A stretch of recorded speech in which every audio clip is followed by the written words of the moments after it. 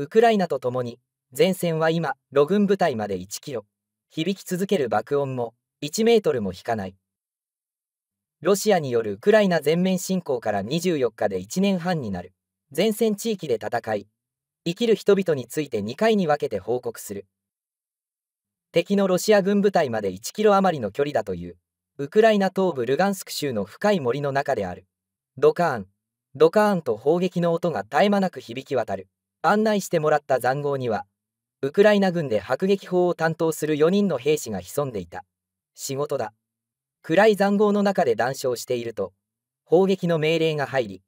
皆が外に飛び出した。そのうち2人が地面に立てられた迫撃砲に駆け寄る。方針にかけられた迷彩色のカムフラージュの布を素早く外し照準を調整して砲弾を込めた。準備完了。撃て。耳をつんざくような爆音を上げながら約40秒の間隔で2発が撃たれた。この迫撃砲の射程は最大3800メートル。標的から30メートルほどの範囲を攻撃できる。同行した報道担当将校のセルヒー43歳が説明した。前方では射撃部隊が配置についておりそれを援護するのが迫撃砲部隊の役目だ。広大な松の森には他の砲兵部隊や戦車も点在して潜んでいる。この森は上空から我が方の陣地や火器が見えにくく防衛に都合が良い。我々はこの半年間陣地から1メートルたりとも引き下がっていないとセルヒーは語った。砲撃の命令は偵察ドローン無人機からの情報に基づいて指揮官から各部隊に下される。もちろんロ軍の側も偵察ドローンを飛ばしてくるが電波妨害で無力化を図る。撃墜することもある。敵のドローンならさっきも飛んでいたよ。音で分かったと兵士が言った。塹壕の兵士らは皆昨年2月にロシア軍が全面侵攻した後に入隊した西部ボリン州の出身で、ウクライナ軍傘下の志願兵組織、領土防衛隊 TRO 第100旅団に所属している。故郷から遠く離れた東部ドンバス地方、ドネツク、ルガンスク両州に派遣され、戦っている。ドンバスは鉱工業の中心地であり、もちろんウクライナだ。領土を守る必要がある。兵士のチョールヌイ、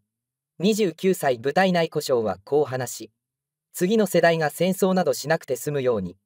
そして彼らが自由な国に住めるように、我々は戦う。敵は必ずここで食い止める。疲れなどない、と力を込めた。兵士らは塹壕で2日仕事をし、2日休むというサイクルで行動している。最寄りの都市でアパートを借りるなどしており、休みはそこで過ごす。仕事の際は拠点で水や食料、弾薬を民生車両に積み込み、45分ほど森の中の道なき道を走って塹壕に来る。そして身を隠して砲撃の命令を待つ。9歳を筆頭に2男2女がいるというボバ。33歳は、戦争が早く勝利で終わってほしい。もう飽きたよ、と笑いながら話した。身体的に疲れたというわけではないが、死ぬためではなく、勝利の後も生きるためにここに来たのだから。深刻な弾薬不足、中核要員即成の弊害も、ウクライナ軍の精鋭部隊として知られる第三強襲旅団の軍曹、32歳にもドネツク州クラマトルスクで話を聞いた。彼はこの約8ヶ月間要衝バフムトをめぐる激戦に従事してきた。バフムトそのものは今年5月ロ民間軍事会社ワグネルの部隊に制圧されたがウクライナ軍は奪還を狙って周辺で攻勢をかけている。ロシアが半年かけて取った領土を我々は2ヶ月で奪い返した。人的損失はロシア側よりも少ないと現地の戦況を説明した。軍曹はこの戦争についてドローンや電磁波を多用する技術戦であり大砲など重火器による砲撃戦だと指摘。ウクライナ軍が小グループによる機動的な戦闘を展開していることも特徴だと解説した。彼が担当している突撃行動も1チーム5から12人で作戦を行うという。ロ軍との弾薬量の差についてはこう語った戦車戦でロ軍の戦車がウクライナ軍の15倍も砲撃したことがあったし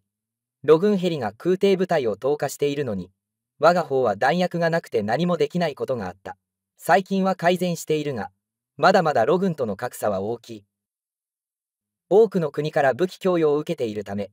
生産国が異なる何種類もの弾薬を使わねばならない実情も明かした。迫撃砲なら、自国製に加えて米国製やブルガリア製など5種類ほどの砲弾があり、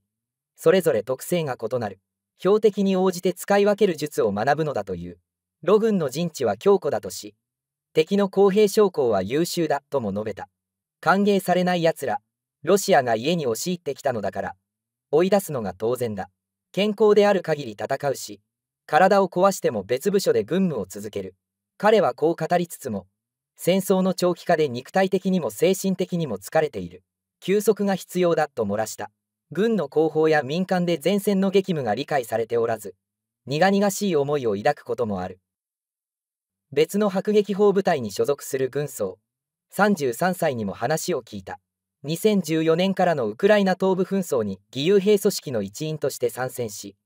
17年に職業軍人となった歴戦の師だ。この軍曹もまた、ロ軍の弾薬量は我々の10倍あり、全く足りていないと指摘し、様々な砲弾を使わねばならない苦労を語った。だが、彼が非常に深刻な問題だと顔を曇らせたのは、将校や軍曹という軍の中核要員が短期間で促成されていることだ。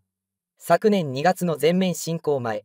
下級軍曹になるには各種の教育、訓練で最低1年はかかった。しかし、今はそうした過程がない。大卒者が、リモート授業を中心とする半年の教育で将校になる道もある。部隊を編成するだけではダメで、知識や経験の継承が重要だ。今は諸陛下の連携にも時間がかかると嘆いた。彼によれば、ウクライナ軍では18年から軍人を再審査して整理する改革が行われた。昨年3月の首都キーウ近郊からのロ軍撃退など、戦局を変える場面で重要な役割を果たしたのは、この改革以降に育った部隊だという。塹壕の中で敵の激しい砲撃に耐えるとき、ふと勝利への確信が揺らいでしまうことがある。それと戦うのがとても大変なことだ。彼もまた、長期戦への覚悟を固めている。ウクライナ軍南部ザポロジエ州ロボティネで国旗掲揚全域奪還か不明ウクライナ軍は23日同軍がロシア軍が支配していた南部ザポロジエ州ロボティネに国旗を掲げたとテレグラムで発表した。ただロボティネ全域をロシア軍から奪還したかは不明。ウクライナ軍のザルジニー総司令官が公開した映像ではウクライナの国旗が焼け焦げた木々に囲まれひどく損傷した建物の屋根に掲げられている。8月23日はウクライナで国旗の日の祝日にあたる。同軍はテレグラムに総司令官の署名入りの国旗が国旗の日にロシアの侵略者に破壊された学校に掲げられたと投稿したロイターは映像に映っている道路や建物から撮影場所を確認できた撮影日は確認できていない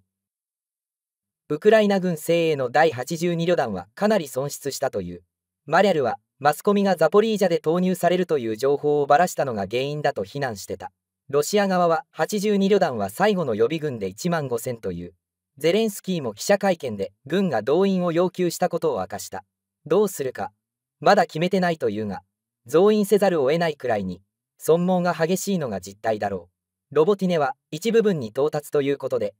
今も戦闘は激しい。随分前に奪還したというドネツク側のウロジャイネも奪還後に激しい損耗を今も重ねている。ロシア側は損失狙い、ウクライナ側は前進と損失狙いと作戦目標が時々揺れている。損失を出しても前進できないので、ストレスがあるのだろう。だが、今回のプリゴジンの死により、ロシア軍はプーチン、ショイグ体制のもと、指揮系統が統一された。もう、国民の不安や批判を利用して、逆張りする存在が消えた。その結果、